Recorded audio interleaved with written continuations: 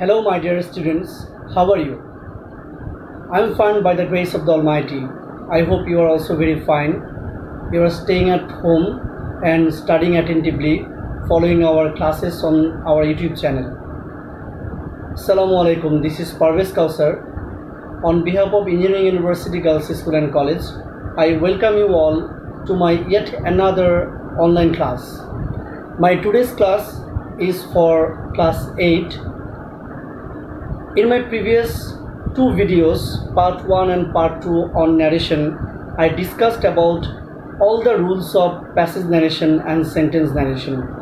My dear students, I would like to teach you today from your book,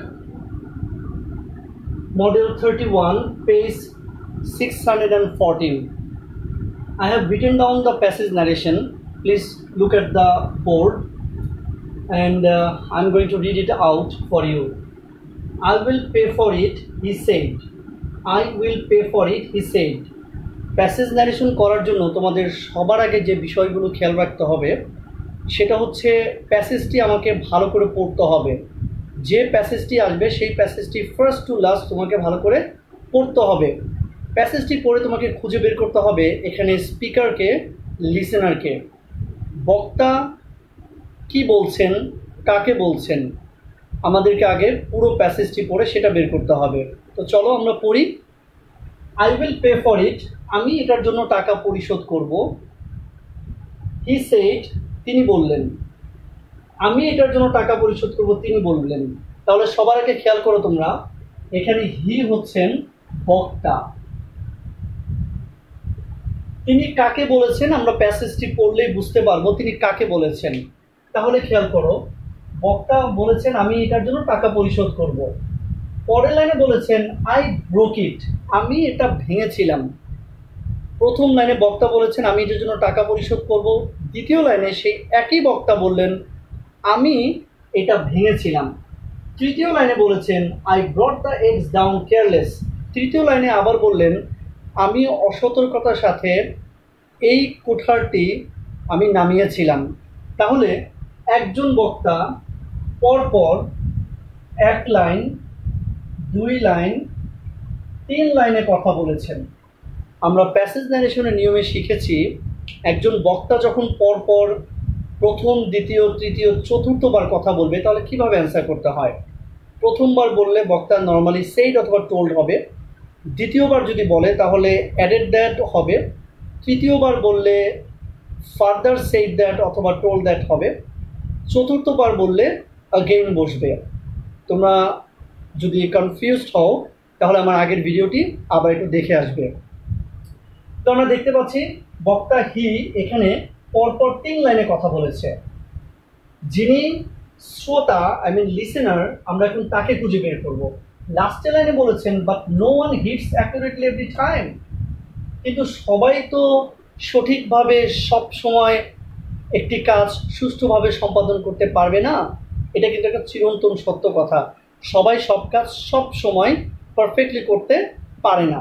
তাহলে এই লাইনটা কে বলেছে? এই লাইনটা বলেছে আই টোল্ড হিম আমি বলেছি। এইখানে আই হচ্ছে গিয়ে বক্তা। এখানে হিম হচ্ছে শ্রোতা। যাই হোক, আমরা শুরুতেই আমরা পেয়ে গেছি, যেখানে হি আর হচ্ছে আয় আছেন। তার মানে কথোপকথন কার কার মধ্যে? তিনি এবং আমার মধ্যে এখানে আয় মানে এখানে আমি। এখন আমরা যদি উত্তর করতে যাই, তাহলে আমরা শুরুতে যে কাজটি করব, আমরা যে প্যাসেজ ন্যারেশন যখন করছিলাম, তখন তার আগে আমি সেন্টেন্স ন্যারেশন তোমাদেরকে বুঝিয়েছি। সেন্টেন্স ন্যারেশনের অ্যাসার্টিভ সেন্টেন্সের ক্ষেত্রে কি করতে হয়? যদি সেইড টু থাকে অথবা সেইড থাকে, যদি অবজেক্ট থাকে পরে, তখন আমাদের সেইড অথবা সেইড টুর পরিবর্তে টোল বসাতে হয়।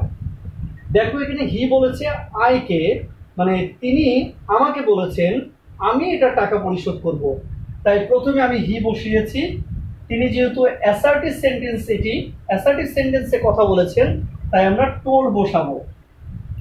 এবার তিনি কাকে বলেছেন? আই আর হচ্ছে হি দুজনের মধ্যে কথোপকথন, তাই তিনি কিন্তু আমাকেই বলেছেন। তাই এটার আই অবজেক্ট হচ্ছে মি মি দিয়েছি।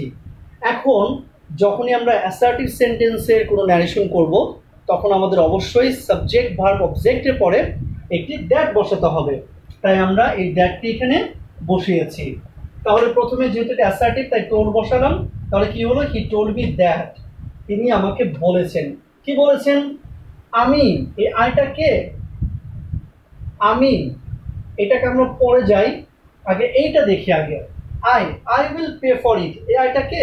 এই আয়টা হচ্ছে হি এই আইটাও হি এই আয়টা কে? এই আইটাও হি তার মানে হলো এই হি তিন আই কে রিপ্রেজেন্ট করছে। মানে এই হির কথাটি সরাসরি উদ্ধৃত করে বলা হয়েছে বলে এখানে কিন্তু ইনভার্টেড কমার ভেতরে দেওয়া হয়েছে। এটাকে বলা হয় ডিরেক্ট স্পিচ তোমরা আগেই পড়েছো। স্পিচ দু প্রকার ডিরেক্ট ইনডিরেক্ট কর্তা যখন নিজে কথা বলবে, তখন এটা ডিরেক্ট হবে। যখন তার কথাটা অন্যের মাধ্যমে বলা হবে অথবা ঘুরিয়ে বলা হবে, তখন সেটা ইনডিরেক্ট হবে।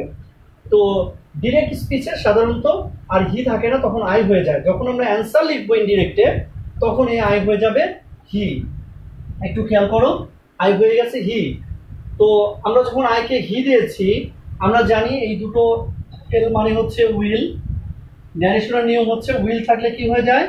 উড হয়ে যায়। খেয়াল করো উইল চেঞ্জ হয়ে উড হয়েছে। আর আমরা জানি যে modal can could may might shall should will would need dare must ought to এগুলো থাকলে কখনোই আমরা কি করব? পরে ভার্বের প্রেজেন্ট ফর্ম বসাবো। আমরা কখনোই ভার্বকে চেঞ্জ করতে পারব না। সেজন্য এখানে পে এখানে পে ছিল এখানে পে বসছে, এখানে কোনো চেঞ্জ হয়নি। কেন? এটা মডেল বলে। মডেলে পরে ভার্বের প্রেজেন্ট ফর্ম হয়। এবার খেয়াল করো, পরে ফরিট আছে ফরিট দিয়েছি। এখন যেহেতু পরের লাইনে একই ব্যক্তি বলেছেন হি একই ব্যক্তি, আমরা এখানে লিখতে পারি অ্যাডেড দ্যাট খেয়াল করো অ্যাডেড দ্যাট তুমি চাইলে লিখতে পারো অ্যাজ অথবা বিকজ কেন? সেন্টেন্সের সাথে এটা যায় আর কি। সে এটার জন্য টাকা পরিশোধ করবে। কেন টাকা পরিশোধ করবে? কারণ সে এটা ভেঙেছে। সে নিজে মনে করছে যে যেহেতু এটা আমি ভেঙেছি তাই আমি এটা টাকা পরিশোধ করব।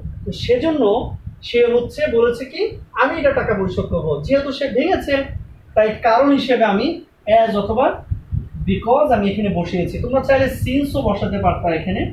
সিন্সও আনা যাবে। তুমি অ্যাজ যদি দাও, তাহলে এগুলোকে একটাও দিবা না। সিন্স বসালো, একটাও দিবা না। মানে যে কোনো একটা দিবা। হয় অ্যাজ অথবা সিন্স অথবা বিকজ অথবা অ্যাডেড দ্যাট তিনটার যে কোনো একটা তুমি বসাতে পারবা। তাহলে অ্যাডেড দ্যাট কি অ্যাডেড দ্যাট করেছে? আই ব্রোক আমি আগেই বলেছি আইটা হচ্ছে হি আইটা হচ্ছে হি তাই এটা চেঞ্জ হয়ে আবারও হি হয়ে গিয়েছে। এবার দেখো এখানে টেন্স কি আছে? এটা হচ্ছে ভার টু ব্রোকটা হচ্ছে verb two past indefinite tense ন্যারেশনের নিয়ম হচ্ছে প্রেজেন্ট টেন্স থাকলে পাস্ট টেন্স হয় পাস্ট টেন্স থাকলে পাস্ট পারফেক্ট হয়।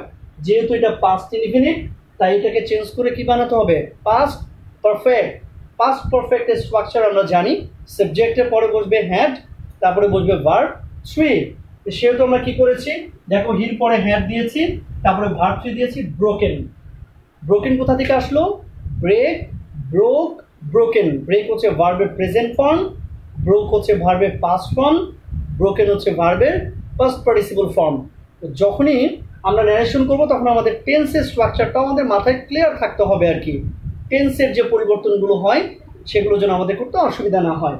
তাহলে আমার এখানে ব্রোক ছিল পাস্ট টেন্স আমি চেঞ্জ করে হ্যাড ব্রোকেন দিয়েছি পাস্ট পারফেক্ট তারপরে কি আছে? ইট ইটের জায়গায় ইট দিয়েছি। তো যেহেতু বক্তা থার্ড লাইনে বলেছে, তা আমরা আগেই শিখেছি থার্ড লাইনে বললে কি দিতে হয়? ফার্দার দিতে হয়। তাই আবারও আই হয়ে গেছে হি আমি ফার্দার ব্যবহার করেছি। কেন? ফার্দার বসিয়েছি, যখন কর্তা পরপর তিন নাম্বার লাইনে কথা বলবে।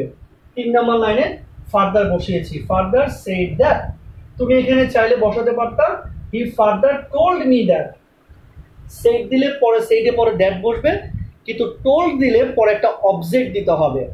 টোল্ড বসালে এখানে বসাতে হতো টোল্ড মি তার নাহলে কিন্তু উত্তর হতো না। তাহলে হি সেট দ্যাট অথবা told me he further said that অথবা he further told me that কি বলেছেন? কি বলেছেন তিনি? I brought the eggs down careless আমি এইটি অসতর্কতার সাথে নামিয়েছি। তাহলে এটা আই, আর এটাকে হি, তাই হি দিয়েছি। ফার্দার সেট দ্যাট কি বলেছি? হি, আমি, তাহলে আমি আয়ের পরিবর্তে হি দিয়েছি। এবার দেখো ব্রড। ব্রডটা কোন টেন্স? ব্রিং ব্রড ব্রড তার মানে ব্রড হচ্ছে ভার্বের পাস্ট ফর্ম এবং পাস্ট পার্টিসিপাল ফর্ম যেহেতু সাবজেক্টের পর সরাসরি বসছে, সেজন্য আমরা এটা ধরে নিব। এটা ভার্বের পাস্ট ফর্ম হিসেবে বসছে। তার মানে এটা পাস্ট ইনডিফিনিট টেন্স তা আমরা কি জানি সবাই? পাস্ট ইনডিফিনিট টেন্সকে চেঞ্জ করে যখন আমরা ইনডিরেক্ট বানাবো, তখন আমাদের পাস্ট পারফেক্ট টেন্স বানাতে হয়। তো সেজন্য কি করব আমরা? পাস্ট পারফেক্ট স্ট্রাকচার আমরা আগেই শিখেছি। পাস্ট পারফেক্ট স্ট্রাকচার মানে হচ্ছে সাবজেক্টের পরে হ্যাড তারপর হচ্ছে ভার্ব থ্রি বা ভার্বের পাস্ট পার্টিসিপল ফর্ম তো সেজন্য আমরা এখানে হ্যাড বসিয়েছি। আর এটা তো আমি আগেই বলেছি ব্রিং ব্রড ব্রড তার মানে এটাই ভার্ব টু এটাই ভার্ব থ্রি তাহলে he had brought the eggs down careless বাকি যা আছে, তাই হলো কোনো পরিবর্তন হলো না। এবার খেয়াল করো, শুরুতে বাদ রয়েছে। মনে রাখবে, যদি কখনো বাদ দিয়ে বাক্য শুরু হয়, এই বাদটা তোমরা শুরুতেই বসিয়ে নিবা। এই বাদটা তোমরা শুরুতে বসিয়ে নিবা। বসানোর পরে আমি পরের লাইনটা করব। কে বলেছে এই লাইনে? আই টোল্ড হিম মানে এখানে আবার বক্তা আই তাই আমি এটা এই আই কিন্তু আর হি বানাইনি। এই আই কিন্তু আই রয়ে গিয়েছে, খেয়াল করো। তাহলে আই টোল্ড হিম দ্যাট আমি তাকে বললাম যে আচ্ছা আমি কি বলেছি তাকে? এইখানে কিন্তু লেখা আছে নো ওয়ান হিটস দেখো নো ওয়ানের জায়গায় নো ওয়ান ঠিকই আছে। হিটস কোনো চেঞ্জ হয়নি। এটাও প্রেজেন্ট টেন্স এটাও প্রেজেন্ট টেন্স কেন এটা পাস্ট ফর্ম হলো না? যদি পাস্ট ফর্ম হতো, তাহলে হতো কিন্তু হিট তোমরা অনেকে ভুল করে লিখো হিটেড হিট হিটেড হিটেড আসলে কিন্তু হিটের পাস্ট ফর্ম এবং পাস্ট পার্টিসিপল ফর্ম কিন্তু যা আছে তাই হিট হিট হিট হিটেড কিন্তু হবে না। কোয়েশ্চেন হচ্ছে স্যার এটা প্রেজেন্ট টেন্স তাহলে এটা কেন প্রেজেন্ট টেন্স হলো? এটা কেন পাস্ট টেন্স হলো না? মনে রাখতে হবে ন্যারেশনের ক্ষেত্রে বক্তা যখনই কথা বলবে, সব টেন্স পরিবর্তন হয় না, কখন কখন হয় না? যদি সেটা I mean reported verb reported speech reported স্পিচটি যদি চিরন্তন সত্য হয়, তাহলে সেটা টেন্সের কোনো পরিবর্তন হবে না। এখানে লাইনটা বলেছে no one hits accurately every time এই পৃথিবীতে এমন কেউ নেই যে প্রত্যেকবার সব কাজ সুষ্ঠুভাবে করতে পারবে। কাজ যে করবে তার ভুল হবে, ভুল হতেই পারে। তাই এই কথাটিকে আমরা যদি চিরন্তন সত্য হিসেবে ধরে নেই, সেই ক্ষেত্রে এটা টেন্সের কোনো পরিবর্তন হলো না। তাই এটা নো ওয়ান হিটস যা ছিল তাই হয়েছে। আর পরেরটুকু যা আছে accurately every time accurately every time বসেছে। তো, শিক্ষার্থীরা, আশা করি তোমরা ভালো করে বুঝতে পেরেছ। তোমাদের পরবর্তী ক্লাসের জন্য আবার তোমরা আমাদের ইউটিউব চ্যানেলের দিকে খেয়াল রাখবে। তোমরা নিয়মিত বাসায় পড়াশোনা করবে, নিরাপদ দূরত্ব বজায় রাখবে, সবাই নিরাপদে বাসায় থাকবে। কিছুক্ষণ পর পর হ্যান্ড স্যানিটাইজার অথবা তোমরা সাবান দিয়ে নিজেদের হাত পরিষ্কার করবে। সবাই ভালো